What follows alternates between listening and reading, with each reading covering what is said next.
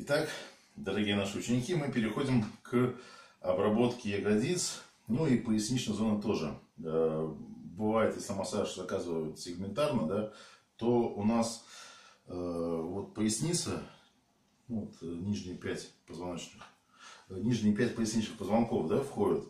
Крестец входит тоже пять позвонков. Копчик, ну, копчик мы, естественно, массируем, он тоже туда внутрь уходит. И вот эти все ягодичные мышцы, которые касаются крепится к гребню подвздошной кости. Вот он идет. Вот тут у него такой бугорок есть в этого гребня. И э, здесь они крепятся к э, большой бедренной кости. Вот она идет. Вот тут заканчивается версел, э, большой версел бедренной кости. Собственно говоря, мышцы крепятся вот так вот вокруг, да, него вот сюда вот они крепятся, вот так вот. Э, к крестцу крепится с этой стороны. То есть, ну, грубо говоря, можно сказать, что это все веерно вот так вот идут во все стороны от этого вертела, большого вертела. Да? И вот так же можно прощупать. У женщин, кстати, он гораздо больше упирает и легче, его прощ... и легче прощупывается. Э, значит, ну, начинаем как э, любой массаж, мы с растирания, да. Во-первых, с даже не растирания, а с поглаживанием, то есть я пока наносил масло я уже это немножко погладил, да, и сразу же перехожу в серьезное растирание, согревающие конкретные участки, локальные, локальные участки, нужны нам для обработки. То есть мы можем отдельно вот эту часть разогреть, отдельно там вот эту разогреть часть, отдельно всю ягодичную массу разогреть.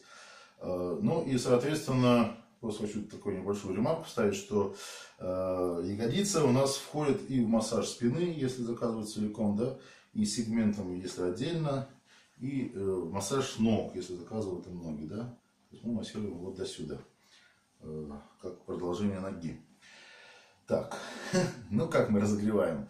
Э, начнем с серединки, да. Э, с места крепления позвоночника к э, крестцу, крестцово-позвоночное сочленение. Растираем достаточно быстро, энергично, подключая все предплечье наше и переходим на ягодичные широкие мышцы. Вот, я как бы сейчас поперек все это сделал, да? А теперь вдоль этих мышц прорабатываю. Вот, разогрели, почувствовали тепло. А, можно еще отдельно разогреть вот место крепления паравертебрального вот этого пучка мышц вот здесь отдельно его проходим. Ну, соответственно, если вы делаете только массаж там поясницы, да, то это можно симметрично делать с двух сторон одновременно, да. Но поскольку мы как бы как продолжение участка массажа спины, мы делаем пока это все с одной стороны. Я, я буду показывать только вот с этой части. Значит, первая часть. Разогрели. Дальше. Э, делаем лапу леопарда которая отодвигает эти мышцы крепления от крестца наружу. Видите, он как бы на расширение, вот так вот я расширяю любой рукой, в принципе, это можно делать. Расширяем эти мышцы, отодвигаем их в стороны. Э, проходимся по э, глубоким мышцам, миофасциальный так называемый элемент массажа, когда мы внедряемся между позвоночником и гребнем подвздошной кости, вот этим уголком, вот прямо туда. Вот. И часто у людей бывает именно эти места болят, есть какой-то сигнал к работе с ним. Сейчас не болит, да? Ну да. Нормально, да? А, сам обходим каждый позвоночек самого крестца, вот так вокруг него обрабатывая, да? Место крепления с э, копчиком там есть такая точка акупунктурная. Ее прожимаем, даже можно так силой нажать. Она очень хорошо дает энергию в половую сферу человека, повышается потенция. Э, и обрабатываем вот эти точки, которые идут у самого э, крестца. Крестец у нас это 5 сросшихся позвонков, но между ними есть ну, вот такие вот отверстия, да, через которые проходит нервы. Соответственно, ну, вот так вот, грубо говоря, вот так они расположены, да. Соответственно, между пятью позвонками будет четыре отверстия, да. Э, и одну, вот мы их нащупываем, их достаточно легко можно прощупать, даже у толстых людей. Прожимаем точку Мишацу, вот так вот. И доходим до места, где вот такие бывают ямки. Ямки у человека. Тут часто складывают, собираются соли, там шарики такие бывают, их тоже достаточно мощно, сильно прорабатываем. И уходим пальцем по гребню подвздошной кости, его тоже вот так вот прорабатываем, стараемся отодвинуть. То есть э, даже выше. Вот все сочленения э, э, крестцово-подвздошные вот эти сочленения, там такие маленькие мышцы идут по сантиметрику буквально вот такой вот участочек. Про них, кстати, очень многие забывают, во время массажа не учитывают. Их тоже можно, вот видите, с утяжелением. Тоже рукой.